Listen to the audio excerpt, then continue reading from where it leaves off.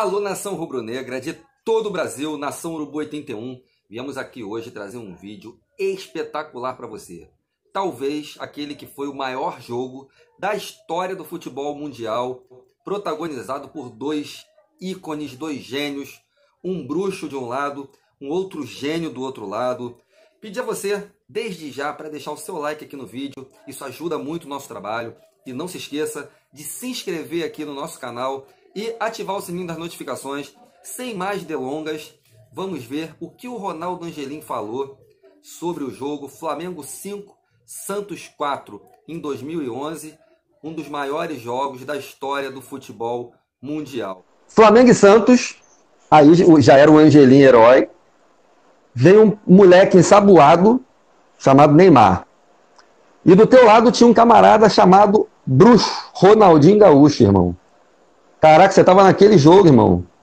O que, que foi aquele jogo? Explica para nós aí. Como é que foi marcar Neymar? O que, que, o, Ronaldo, o, que, que o Ronaldinho fez naquele jogo, cara? É, aquele jogo eu lembro mais da pré-eleção de Vanderlei, né?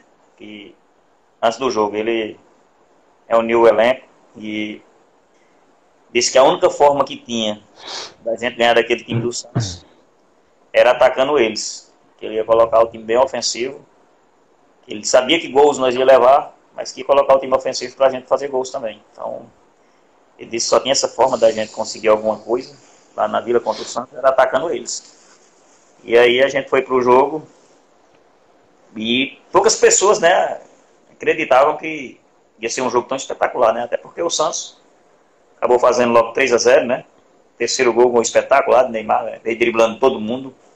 Você achou, você achou que estava perdido ali, Angelim? Olha, quando saiu o terceiro gol, eu achei difícil, apesar de nós ter perdido muito mais gols do que o Santos antes de, de deles fazer os gols, né? A gente tava criando muito, o Flamengo tava criando muito.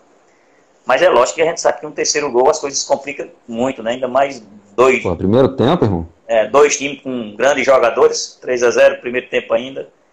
A gente sabia que ia complicar, a gente não, não sabia que, que ia virar aquele jogo, mas é como a gente estava jogando bem, a gente sabia que ia diminuir o placar pelo menos fazer gols a gente ia, porque a gente estava criando muito. E no terceiro gol deles ali, eu acho que dava pra gente ter feito a falta lá no meio, né? Ter evitado aquele terceiro gol. Porque Neymar veio trazendo, né? Eu acho que ele passou por William, ele é o Moura lá no meio, veio trazendo, passou pro Renato. Não, não passou pro Renato, ele fez uma tabela, aí recebeu, veio correndo junto com o Renato e chegou ali em cima de mim e eu fiquei com medo de fazer a falta e tomar cartão ou ser expulso, até pela correria que o jogo tava, né? É, e acabou saindo o terceiro gol. A partir dali a gente passou a, a ficar um pouco preocupado, nem né, levar uma goleada. Eu estava pensando até em fechar a casinha, mas aí logo em seguida a gente acabou fazendo um gol. Aí fizemos outro, muito perto, e terminou o primeiro tempo ainda empatado, 3 a 3 Aí a partir daí a gente passou a confiar no jogo, né? Era um time que atacava muito, mas dava espaço para nós. E o Santos deu azar naquele dia, porque pegou o Ronaldinho num dia muito inspirado, né? Então o Ronaldinho naquele dia destruiu. Mas se você for analisar a partida em um geral, os jogadores ali que eram para jogar bem, todos jogaram bem. Então, os Sim. jogadores do lado do Santos que tinham que fazer a diferença fizeram, os jogadores do Flamengo que tinham que fazer também fizeram, e foi um grande jogo, porque as duas equipes eram mais ou menos parecidas, tinham jogadores de alto nível, e nós acabamos levando a melhor pela qualidade de Ronaldinho naquele dia, que estava acima da média, acabou destruindo. Muito difícil marcar o Neymar, Angelim? Difícil, né? Porque ele é um jogador que vai buscar muita bola no meio e embala com ela, né?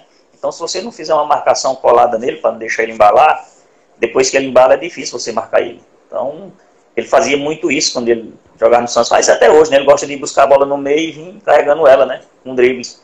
E aí, depois que ele embala, para você parar ele é difícil. Então, é, eu acho que você tem que ter uma certa marcação de perto nele, de modo ele não receber essa bola e virar, porque se deixar ele virar e vir de frente, é mais complicado você parar ele, porque ele vem em velocidade, pega o zagueiro de costa pro gol e aí o próprio volante é